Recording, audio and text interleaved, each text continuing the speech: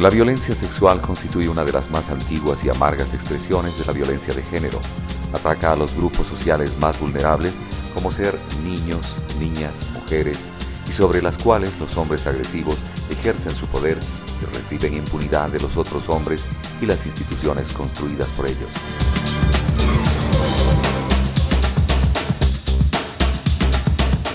En casos de abuso sexual, las probabilidades de contagiarse infecciones de transmisión sexual, de adquirir el virus de inmunodeficiencia humana, VIH y SIDA, o de entrar en estado de gravidez aumentan considerablemente. Solamente una pequeña proporción de víctimas de abuso sexual sufre traumas físicos severos. Hay datos que sugieren que la ocurrencia de traumas genitales es mayor en las mujeres vírgenes que en aquellas sexualmente activas.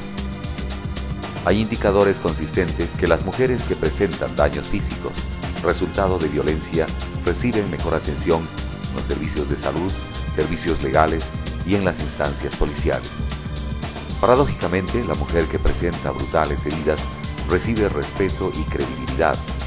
La modificación de esta postura inhumana e ineficiente ha tenido una amplia discusión entre profesionales, abogados y de salud.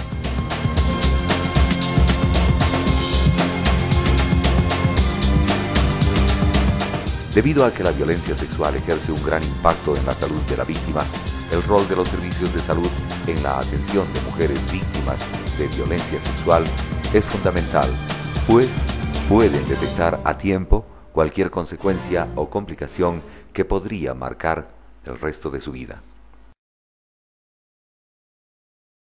El profesional de salud que atiende a una víctima de violencia sexual debe comprender el estado emocional de la persona, debe tratarla con empatía, confidencialidad y respeto. Rominita, puedes hablar con toda confianza, solamente estamos la enfermera y yo, y pues yo estoy... La atención de la víctima sobreviviente de violencia sexual es una emergencia médica, por lo que la intervención debe ser inmediata, de ser posible dentro de las 72 horas de ocurrido el hecho, porque en ese espacio de tiempo se puede brindar anticoncepción de emergencia, prevención de infecciones de transmisión sexual, prevención de VIH y SIDA, recolección de evidencias médico-legales. Pasadas las 72 horas, ya no se tienen opciones preventivas y se pueden desarrollar infecciones de transmisión sexual, VIH y SIDA y muchas evidencias legales se pierden.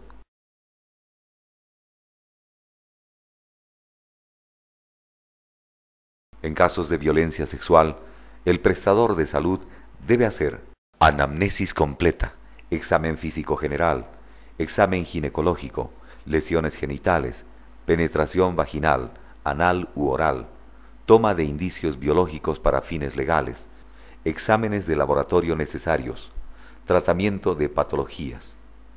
Hay que tener en cuenta que la mayor parte de las víctimas de violación no acuden a los servicios de salud o lo hacen tardíamente por falta de información o vergüenza, lo que impide tomar medidas de protección, corriendo graves riesgos para su salud y la vida misma. La adquisición de una infección transmisible sexualmente, ITS, como consecuencia de la violencia sexual, puede resultar en severas secuelas físicas y emocionales. Una gran parte de las ITS, resultado del abuso sexual, podría ser evitada con la oferta de medicamentos específicos de eficacia reconocidas y que sean administrados adecuadamente, en dosis únicas antes de que pasen 72 horas de ocurrido el hecho.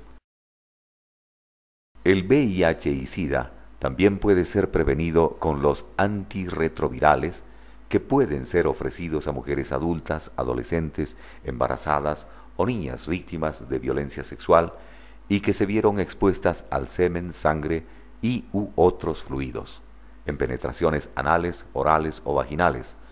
Los medicamentos deben ser suministrados en el menor plazo posible, máximo dentro de las 72 horas de sucedida la violencia sexual y ser mantenido sin interrupción durante 28 días.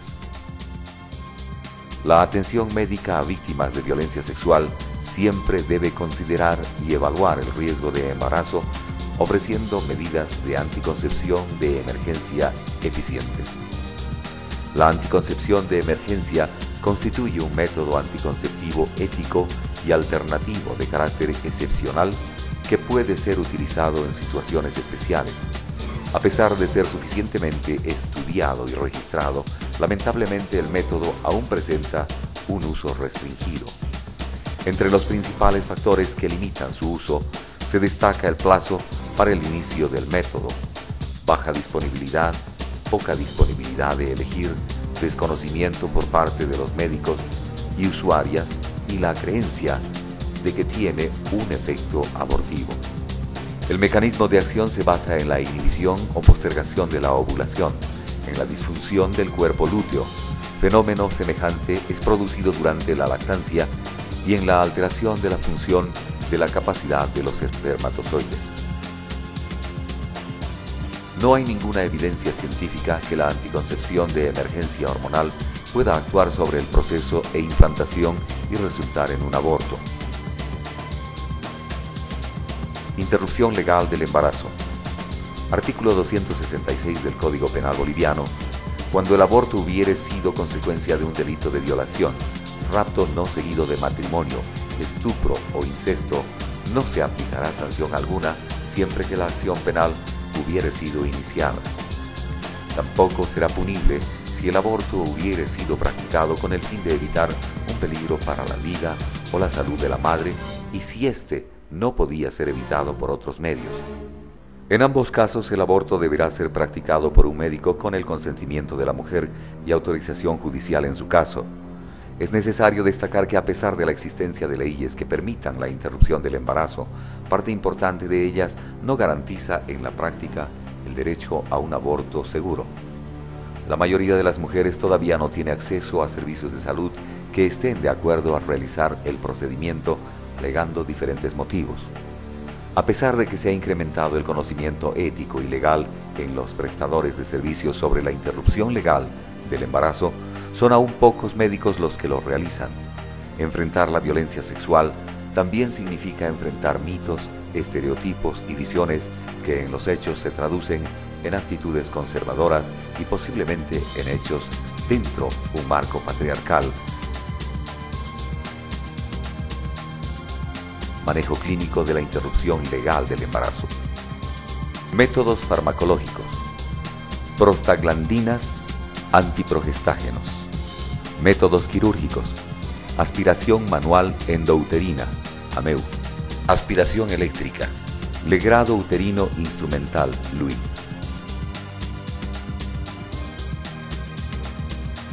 Los profesionales y los proveedores de salud deberán estar adecuadamente capacitados para el manejo clínico y psicológico de las víctimas de violencia sexual.